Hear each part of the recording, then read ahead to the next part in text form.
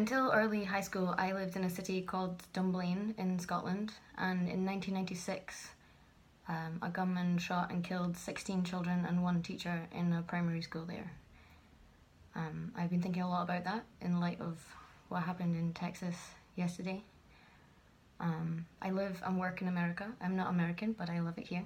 But some things are confusing to me, and it's confusing to me that some people, some politicians, are more keen to protect the Second Amendment and the interests of the gun lobby than to protect the people they're supposed to be serving.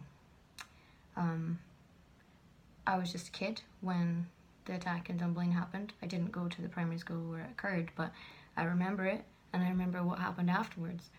Britain changed their gun control laws. Um, I think it's easy to see that more than one issue can be a play at once.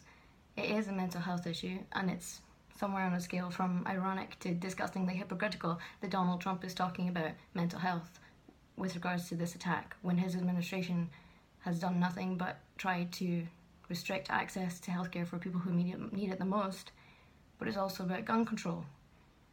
Um, you can't stop everything bad from happening in the world. You can't take away people's impulse to do things like this, but you can restrict their access to resources that would allow them to murder on a much bigger scale. Um, Mike Pence is among one of many Republicans who take thousands and thousands and thousands of dollars from the NRA every single year. And he wants to talk about prayers and religion and being a good Christian.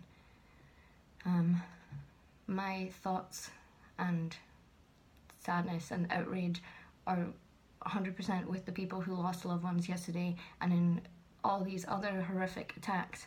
But prayers are not what stopped more atrocities like Dunblane from happening in the United Kingdom. Gun control did.